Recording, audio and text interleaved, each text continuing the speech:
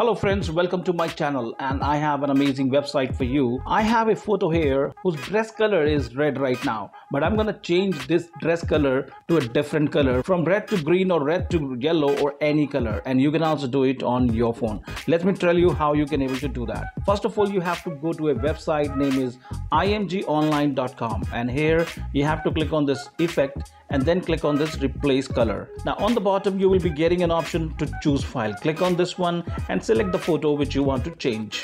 And then it will ask you to which color is already there. You have to select here green to red. This is the red color is already there. I want to change it to yellow. Okay. And then here you have to click on this OK and it will start processing your photo into a yellow color. And it is being done right now. I can click on this open process image and it will be just right in front of me. See this?